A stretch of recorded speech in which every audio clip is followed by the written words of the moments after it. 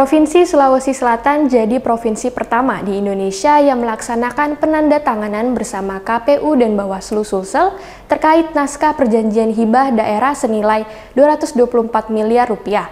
Hal tersebut berlangsung di kantor Gubernur Sulsel Kota Makassar.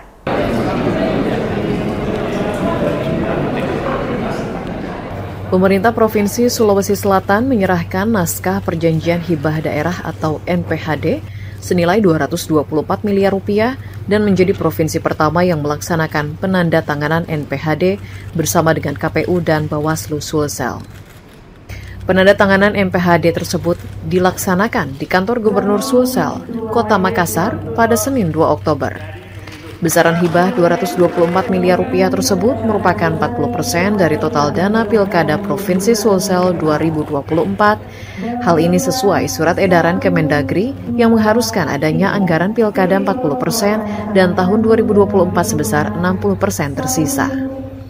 Angka tersebut di antaranya untuk KPU Sulsel senilai 150 miliar rupiah, 50 miliar rupiah untuk Bawaslu Sulsel, dan sekitar 24 miliar rupiah untuk porsi keamanan TNI Polri.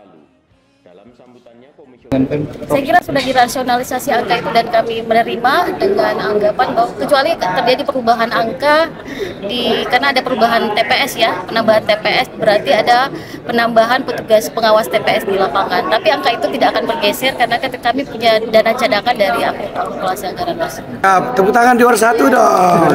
Jadi dari 38 provinsi baru provinsi selatan. Baru oh iya NPHD baru sudah kita. Jadi nomor satu. Memang kita spesialis nomor satu. Jadi yang kedua kita bukan hanya mau sekedar nomor satu.